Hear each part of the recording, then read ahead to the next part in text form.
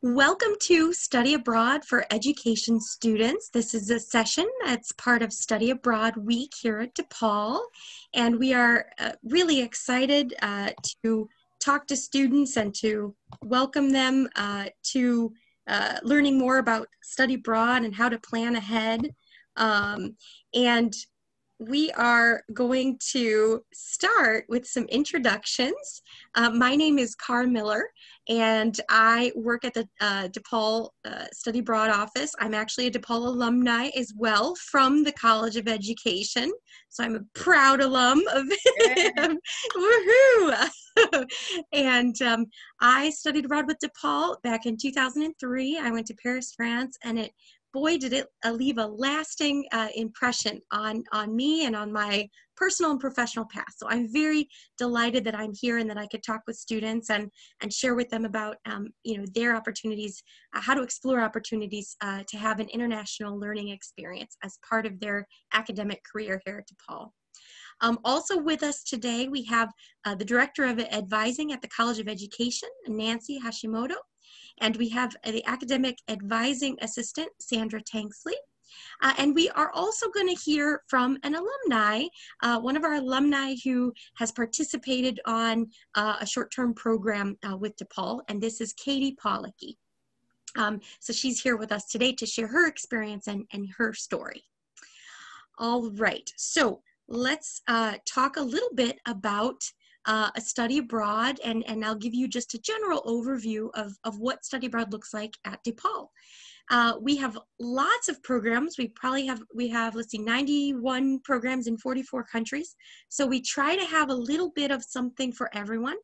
Um, we have programs that are short term, which means students can study abroad between one and three weeks. Uh, you can, students can travel during the December intersession, during spring break, and even during summertime.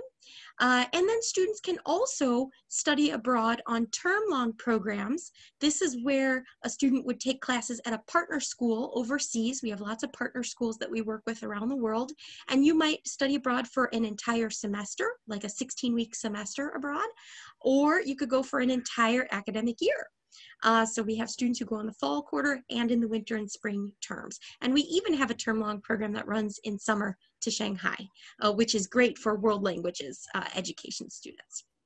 Um, the different types of programs that we offer, we have faculty-led short-term programs. So this is where you would take a course with a DePaul professor, uh, and then after you finish that course, you would travel with your professor, with your fellow student group to the country that you were learning about and focusing on in your course.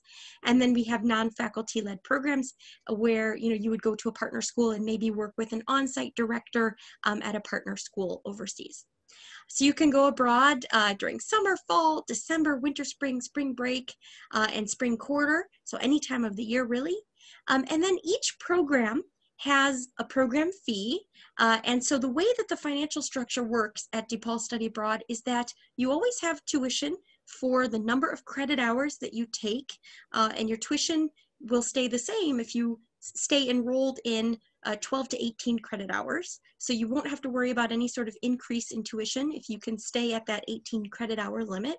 Um, and then you'll have a program fee that's added on. Each program has a different program fee uh, and it includes different things for different programs. So for example, with short-term programs, you'll notice that the program fee uh, might include airfare, a round trip, you know, airfare, and that there's a group flight where everyone travels together. Uh, you might see that on a short-term program fee, you'll have uh, meals included and accommodations. Maybe we, you know, we've already kind of packaged, you know, the hotel and the on-site transportation. We might have packaged that all together for you.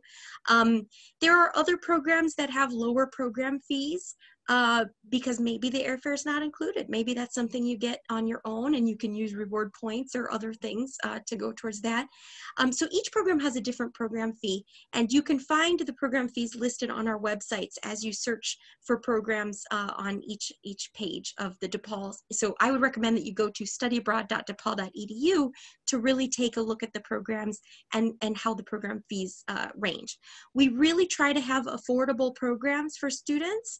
Uh, Um, we, you know, I say that study abroad does not have to be expensive. You can make it make it work. Um, and I will talk about scholarships in a moment because that's really important to help you fund your study abroad program. Um, and we have some some recommended programs, you know, for education students. Um, there there are some phenomenal programs uh, abroad with our partners uh, at University College Cork. Uh, it's what we call a full curriculum program. You could take courses in anything there in Ireland. You could you know uh, take early childhood education and and and other uh, physical physical exercise uh, exercise science courses. And so I think that's a great program. Athens, Greece. We work with our partners at College Year in Athens, CYA and that's a great uh, great program to earn a lot of your liberal studies learning domains. Um, although i realize that as as um, you know pre-service teachers that you'll be doing um, you know student teaching and that that will also kind of um, uh, that would uh, fulfill your experiential learning requirement. And I know Nancy and Sandra can kind of speak to that uh, a little bit later on in the presentation. Um, but there are certain programs that we really recommend for education students. One of them is a short-term Portugal program, which, which uh, Katie can speak to in a little bit. Um, but think about study abroad as a way, you know, to fulfill uh, your liberal studies learning domains or get some open electives um, and try to fit that into your academic uh, plan while you're at DePaul. Um, in terms of scholarships, there are lots of scholarships out there. So I want uh, to encourage students to check out our scholarships webpage. Uh, this is where you'll learn about scholarships that are, are given from our office. So DePaul Study Abroad awards scholarships in the amount of 1,000 to $5,000 uh, to, to students. And um, those awards are given to students based on a combination of your academic merit, so your GPA is a good measure of that, and your financial need. Uh, so we work with the financial aid office to, to help figure out, you know, which of our students demonstrate high financial need, and we try as best as we can to award scholarships to students that, that demonstrate that need. Um, I'd also recommend that you look at external scholarships, you know, uh, uh scholarships that are outside of DePaul, outside of our office. Um, you know, we, we have a website that will give you links to the Gilman Scholarship. So for example, let's say you pursue a term-long program uh, and you want to go to Athens, you know, apply for the Benjamin Gilman Scholarship through the U.S. Department of State because the State Department, they want more students, they want more Americans to go abroad and engage in citizen diplomacy. It's really important right now that, that people build these intercultural bridges and cross-cultural, you know, bridges and, and develop friendships with people of, uh, you know, in other places. Um, and so they'll fund that. Uh, there's the Fund for Education Abroad. Uh, there's a bunch of scholarships out there, so, so really hunt for those. Um, I would also recommend that as you search for scholarships, that you look for scholarships based on criteria that are relevant for you.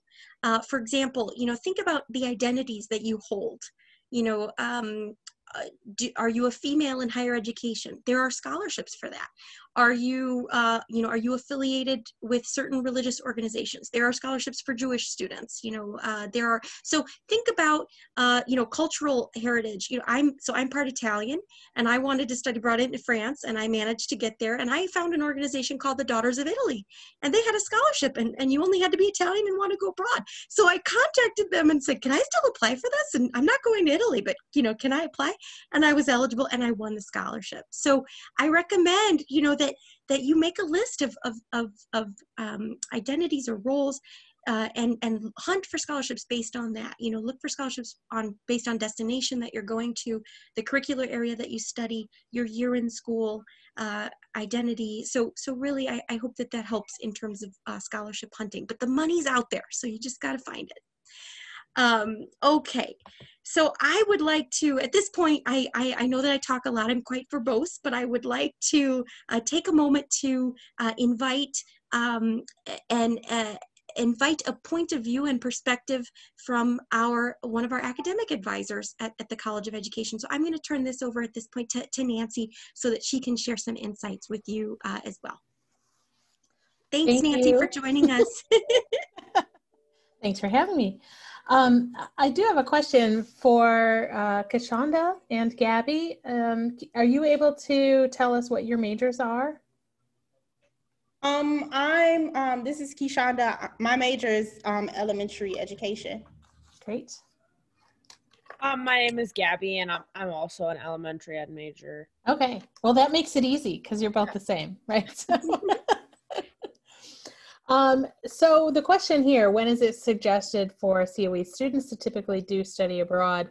Um, and and it does vary by major, so so that's why I wanted to ask. With early, I'm sorry, with elementary education, as you know, courses are not offered all the time in elementary ed, um, but they do offer them more than one quarter. So, um, for example, EE 324 may be offered in fall and winter, but not in spring. And so um, it makes it a little easier than some other majors to be able to plan study abroad. Uh, usually it is best to do during first year and second year only because in in most cases that's when you have the most flexibility. You have the most learning domains to do. You have time to pick up the education courses if you if you're going for a full quarter um, or even longer. And and so you have the most flexibility. Um, it certainly is possible to do it in the third year um, maybe even into senior year uh, but it's really going to uh, take some planning on your part and in conjunction with your advisor, Kevin. So if you know now that you want to go to Italy and you know that you're going to do that in fall quarter of your third year, your junior year, and you're a sophomore now, then he can help plan around that. And so he can map out, okay, don't take these learning domains because you'll take those when you go to Italy you're not going to take these education courses now, but we can move them around to different quarters. Um, so planning is probably the, the paramount thing here. So as, as early as you're able to know when you're going to go, that's the best uh, situation because then we could work with that and, and kind of plan around it. Um, so I think I kind of covered the second that's piece great. too, right? That's um, great. Yeah, I, I love it, and that's that's really key that that students come early and, and plan early. And I always I always tell them, you know, study abroad early because you, you can, at DePaul, you can go as a freshman. We have first year abroad programs to help students fulfill their LSP 112 focal point seminar, you know, course requirement. We have identities abroad for sophomores who are looking to fulfill their LSP 200 course, you know, in the seminar in multiculturalism.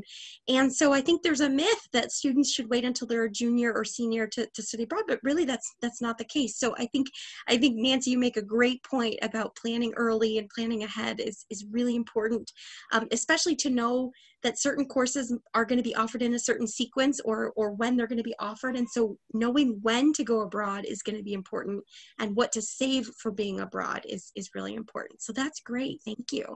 Um, and I'll just kind of reiterate, you know, that the last bullet point about credit hours limit, you know, sometimes we have students who when they go abroad, they want to take more than 18 credit hours. They, there's an extra, you know, they want to take four or five classes abroad, not just three or four, and they can go over the credit hours. So if you if you choose to do that, that's fine, but you just have to know that there's an increase in tuition as a result.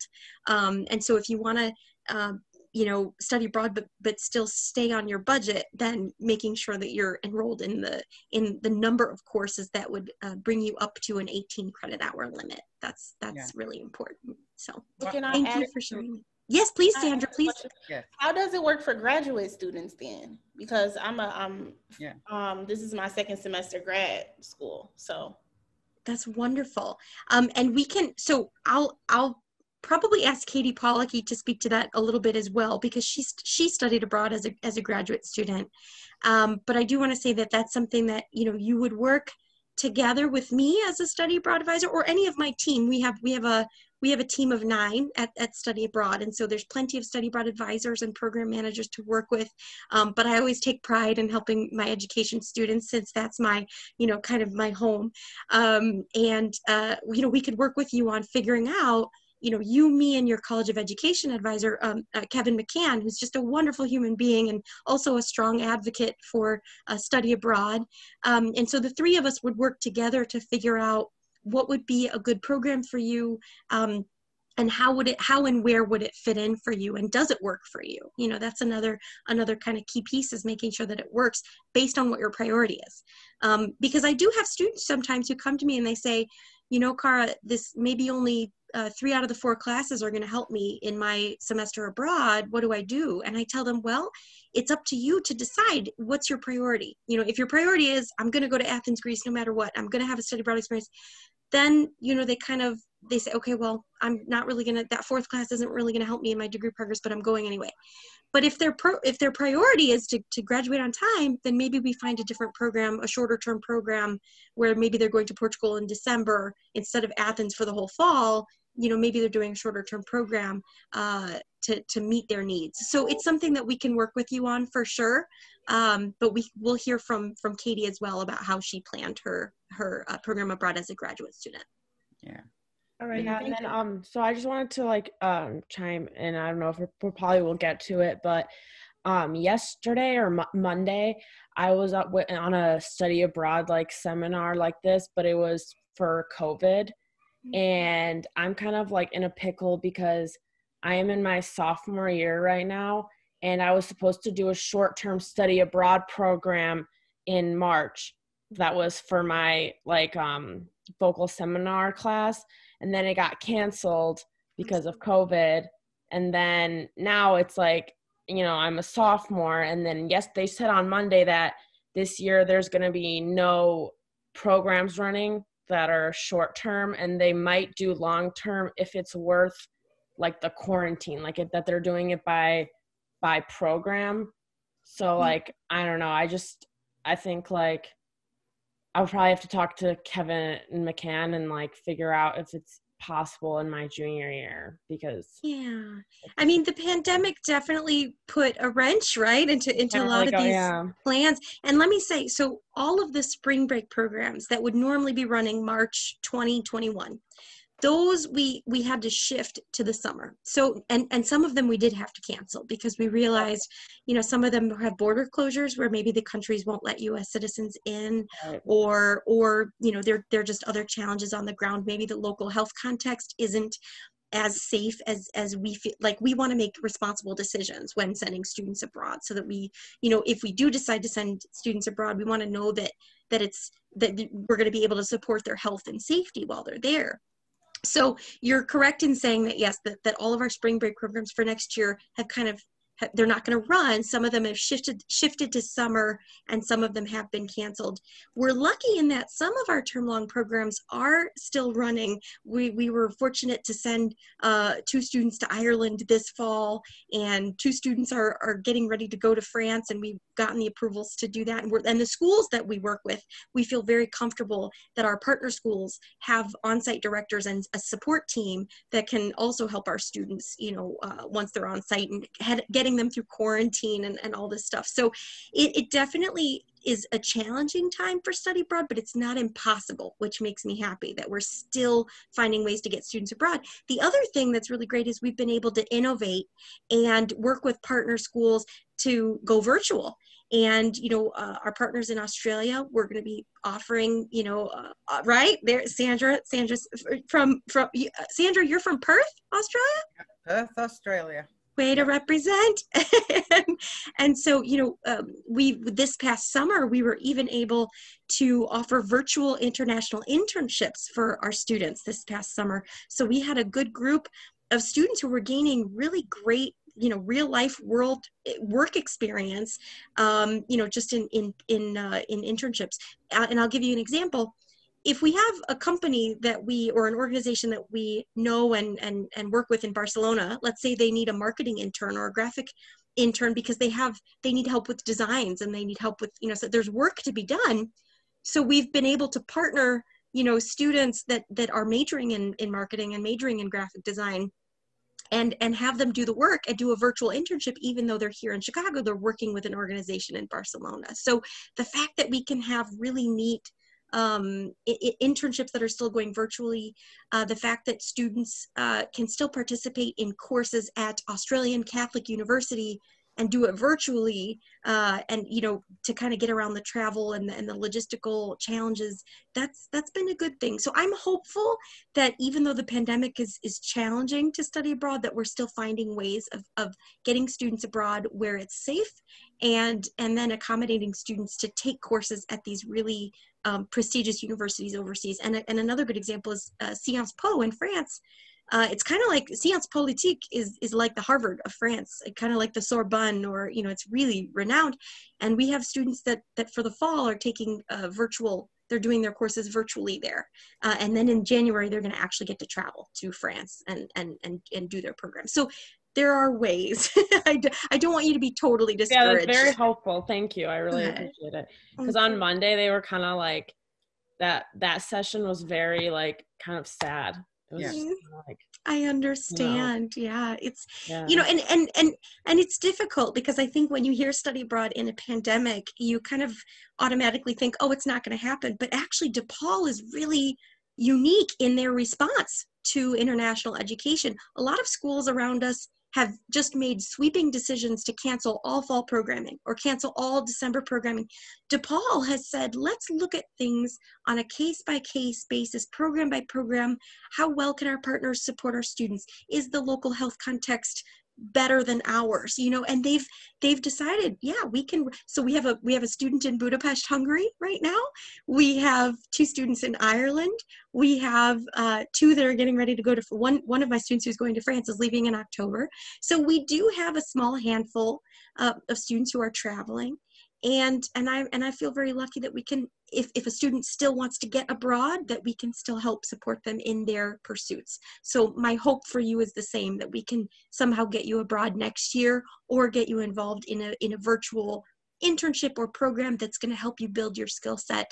Uh, and another good thing to know is, you know, students that study abroad, there's some great data out of the IIE, the Institute for International Education, that says that students who study abroad are typically hired quicker than their non-study abroad peers. You have a job within six months of graduating, and you tend to earn about $7,000 more annually than your non-study abroad peers. As long as you highlight that in your resume and learn how to articulate your skills in an interview, it really is a, is a great direct economic benefit um, to you after graduation. So, um, and especially, sorry, especially as a teacher, uh, I know for me, I, when I studied abroad and then graduated at DePaul, I became a teacher in Chicago Public Schools and wow, was I able to use a lot of the soft skills that I learned on study abroad right in my own classroom. You know, having intercultural communication skills, navigate how to tolerate ambiguity, uh, navigating new environments, new landscapes.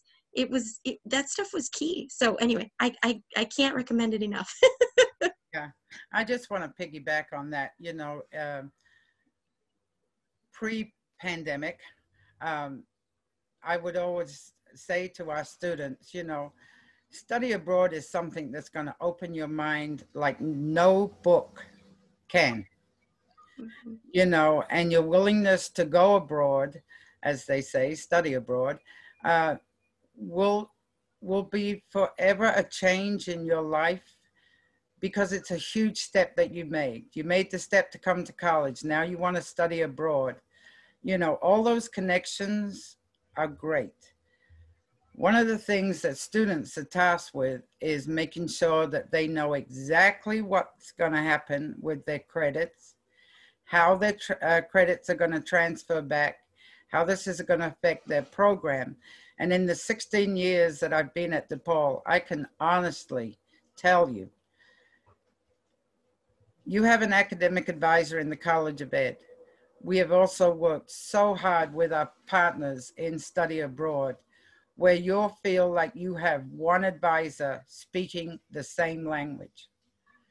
Because uh, in many cases, you'll hear something from somebody and something from somebody else. And in the end, it's not going to make a difference unless it's part of your program. So always go into it knowing what you want to get out of it, how it's going to affect your timeline at DePaul, how it's going to affect your uh, credit hours and your pathway to uh, achieving your goals as quickly as you want to. But always documenting the steps. Because if you're called upon to, to say, okay, Gabby, how did you do this? You'll be able to say, well, on day one, I did blah, blah, blah, blah, blah. And it goes down all the way. That way, you're documenting your journey, but you also have that document to stand up and be there for you because many people are like, oh, I thought I was going to get nine credits and I only got six credits. You'll have all the background information that you have received. So you'll be the owner of that information. And that will help you too, because when you, um, when you plan your life around the, the options and the opportunities you have, it'll help you going forward, especially if you're going to be a teacher. So I, I I'm serious. I would reach out to Kara after this, Gabby, and see what your various uh, options are. Because just like we're all Zooming, no matter where we are, we could say we're in Chicago, but we might not be, but nobody knows that. You might be able to have that experience and get it all done without the stress and the worry about the pandemic. Mm-hmm. Thank you for that. I appreciate I appreciate your your commentary. Thank you so much for sharing that with us. Cuz yeah. it's true. I mean really in in a lot of ways there've been some some really neat advantages to you know to how we're using technology, you know, uh, in in this in this era. Um wonderful. I think um I think I would like to uh you know allow some time for for Katie to share her experience and tell us about herself, tell us about her program, um, how you decided on that program, and how did that relate to what you were studying, and and and if you could share any advice that you would also give to to our to to our students. Yeah, sure. Um, so my name is Katie Pollocky. I just graduated in June with a Master's of Education in Counseling for College Counseling and Student Affairs. Um, I went on the Portugal trip. It was the assessment and treatment of chemical dependency. So, for a master's of education and counseling, for my specific um, area of concentration, I didn't need this class, but I did need it in order to get the certification that I wanted to get to be a licensed professional counselor. So that's why I chose that that one in general. It's the first year that they ever um, had it, so it was kind of a trial period, but it was an amazing experience. Um, I do know that someone on the trip was actually a sociologist. She was a what was she? Social work major um, in her own master's program, and she had talked with her academic advisor and the study abroad advisors, and had worked it out with her program in order to get credit for her program through doing this study abroad experience. So that's definitely a piece of advice that I want to impart is if you find other experiences that closely align with maybe one of your requirements, um, with ours being such a new program, you know, they hadn't really thought yet, like, well, maybe social work. Well, she found it, she went for it, and she was able to get credit for going. Um, also, there were a couple of people on the trip who had already gotten credit for that specific class in that track and they were actually given um, credit for like sort of an advanced version of that class. So they had to do different assi- different assignments than we do and all of that. Um, because they wanted to study abroad so badly they were like you know what? I'm going to do this anyway. Um, so my specific experience was short term. It was over um, december of 2019 so this past december and it was two weeks in portugal we did have a weekend trip to Oporto, which I have to say is actually my favorite city in Portugal, though I do love Lisbon. That is where we stayed most of the time. Um, Porto is ab- ab- very gorgeous, and that's actually where this picture is taken. Um, so I decided on this program. I'd always wanted to study abroad. Um, higher education is where I'd like to take my career. Um, so anything that is going to align with that is something that I wanted to sort of experience, and study abroad is one of those things. I actually also had the privilege of working in the study abroad office this past year and absolutely loved that area of higher education as well. So it sort of opened my eyes to a different area that I could get into. Um, something else that I can say is you know, now I can definitely speak to a lot, being able to work with diverse populations, understanding different cultural views. There's all sorts of different talking points that I can have in my interviews and on my resume and cover letter now because I had that experience.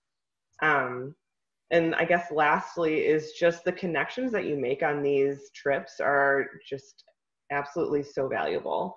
I made so many good connections, and those people right now are helping me in my current job search. Some of these people are like, oh, hey, I heard this and this university is hiring, or I know that department is hiring. And so th- through those connections, I 100% believe that's where I'm going to be getting my next position.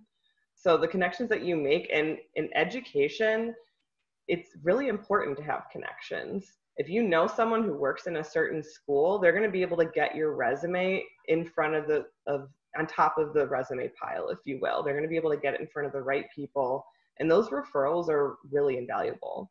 So I think that study abroad can help you make those connections in such a way that you really aren't able to just going to classes, especially now with having more online classes. You're not in class with people that much anymore. And having those experiences where you have to have group projects and um, you know more intimate encounters with your your classmates is really going to help a lot with your placement after you've graduated. That's wonderful. Thank you so much for for sharing that. And and um i'm i'm glad to hear that that Porto was your was one of your favorite places. But i'm also really glad to hear that that you you know you've made friends on the program and that that this has led to networking and and and sharing and you know getting references from each other. I think i think that is really important in, in the world of education um you know and and and utilizing the network you know um, not only developing new friendships but utilizing that network. So um, thank you so much for for sharing about you know your time um, in portugal and and you know and, and and what you learned and and and how it was helpful for you. Congratulations on graduating also. Um, and thank you again for your work as a senior peer advisor in our office. We we miss you.